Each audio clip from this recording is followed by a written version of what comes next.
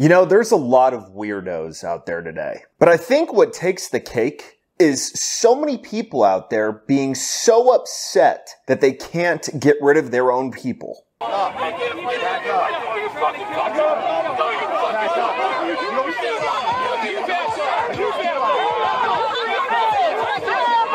Don't y'all want the blue invasion in America? Isn't that the goal? Where we all eat rainbow snow cones every day and we talk about little Jimmy down the street who got a sex change. That's what y'all want. So why the hell wouldn't you want more of your people, aka your babies, to be brought into this world? Oh, I forgot they're probably running low on vegan condoms, so y'all haven't really been using them that much anymore. Is there no more birth control out there? I didn't get that memo. Now, all of that stuff is still there. So with that stuff being out there, if you make a mistake or you're irresponsible, what makes you think you can just go get rid of a life so you don't have to wait nine months to drink wine again. Roe versus Wade was this Supreme Court decision where essentially it lets women have no fear of going out, having some casual sex, getting pregnant because they can just abort it after. Now, I'm not talking about if a woman is raped if it's incest, or if the pregnancy is going to kill the mother. But those are not common occurrences. But America is terminating pregnancies at an astounding rate because it's inconvenient. Last year there was 63 million abortions. But look at all these people just crying because they can't get more. People who can control our choices to what to do with our body. We're not going to let these men these Supreme Court justices who think they know best.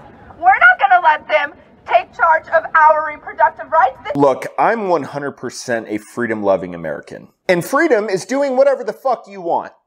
Trust me, I understand that fully. The only time I'll argue something about it is if your freedoms are screwing up other people's freedoms. Like the freedom to live, the freedom to breathe, the freedom to have a chance in life oh, you think it's okay to have an abortion because a little fetus can't hold up a BLM sign yet, or they can't protest and say the word screw Trump yet. You don't think it's killing.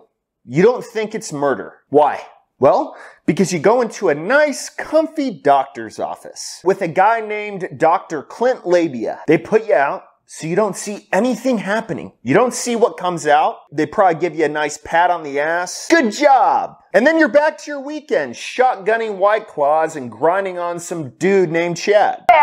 We are not putting policy in charge of our decisions. Rinse and repeat. Rinse and repeat. Do you know how many families are on an adoption list? It's one to two million families. One to two million families who would probably give their leg to be able to have a child in their life that they can call their own. Imagine how they feel about all of this. Someone who legitimately can't make their own blood. I mean, the least someone can do is go through the nine months and then gift a God-given child to a family. But no, unfortunately, we live in a society nowadays where everything has to be quick and easy. Oh, you want a new pair of shoes? Well, it takes 15 minutes to the mall then we got to find a parking spot. Oh, wait a second. We can just order it off Amazon. What's 10 times 596.8? Oh, hang on. Let me get this piece of paper out.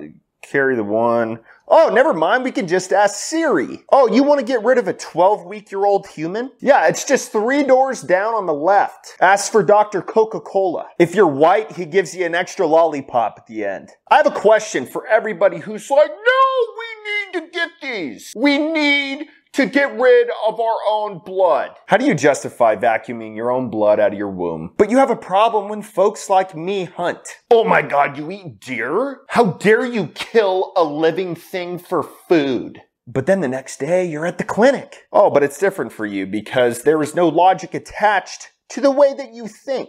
If you look at these protests and you had no idea what was going on, at this point, I would have thought that the government is mandating abortions and people are pissed because they can't have kids. What if that were to happen? Would y'all just have a big old party?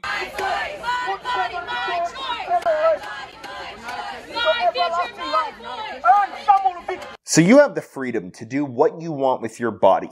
I won't argue that. But us as a nation, we don't have to get behind your illogical thinking. So, you want one that bad? Go do it yourself. What? How? What? Seriously. If it is that much of a detriment to your life, Do it yourself. Have your boyfriend get a nice manicure, have him stick his arm up there, and you watch what comes out. And while you're watching all of it go down, you're to see a human that was not given a chance to breathe and it was not given a chance to live with the same freedoms that you and I have because it was an inconvenience. Then you tell me if it's murder or killing.